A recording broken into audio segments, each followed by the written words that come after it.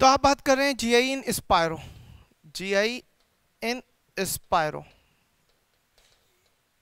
देखिए, अगर कोई कंपाउंड स्पायरो लाइक दिस यही तो स्पायरो होते हैं। ठीक है?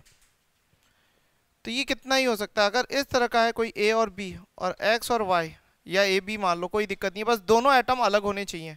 भले वो ए बी हो सी डी हो एक्स वाई हो, कुछ भी हो। तो आप इसको कैसे ट्रीट करेंगे? इसको ट्रीट करने का तरीका यही है कि आप C double bond C double bond C A B और ए बी ऐसे ट्रीट कर सकते हैं जीआई पता लगाने के लिए। ठीक है? यानी ये कैसा है मॉलिक्यूल प्लेनर या non planar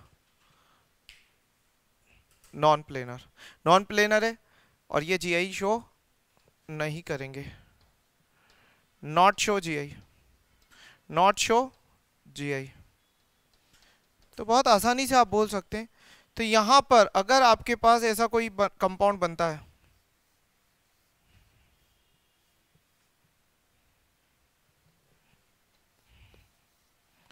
हाइपोथेटिकल कुछ पूछ लिया जा रहा है।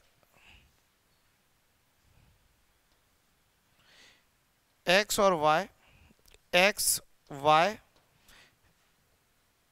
Y X कोई दिक्कत नहीं। क्या ये जी आई शो करेंगे? क्या इस कार्बन पे पहले देख लो, दोनों एटम अलग अलग है? हाँ। क्या उस पर हाँ। अब चेक कर लेते हैं। तो देखो, पहले तो यहाँ पर एक, दो, तीन, चार, पाँच, छ, सात, आठ, नौ, दस, ग्यारह, बारह, तेरह, चौदह। ठीक है?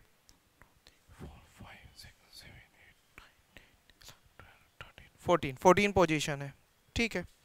तो अब चालू हो जाओ one two three four five six seven eight nine ten eleven twelve thirteen fourteen numbering दे लो।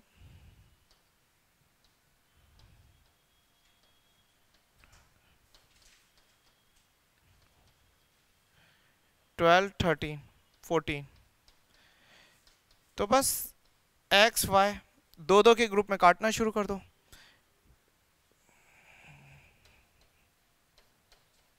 ये कट गया दो के ग्रुप में, ये कट गया दो के, ये कट गया, ये कट गया। तो बचे क्या? दो।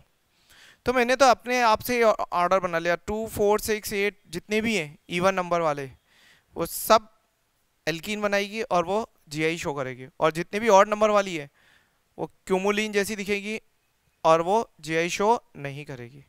तो 14 देखते ही दिमाग में आ गया था शो जीआई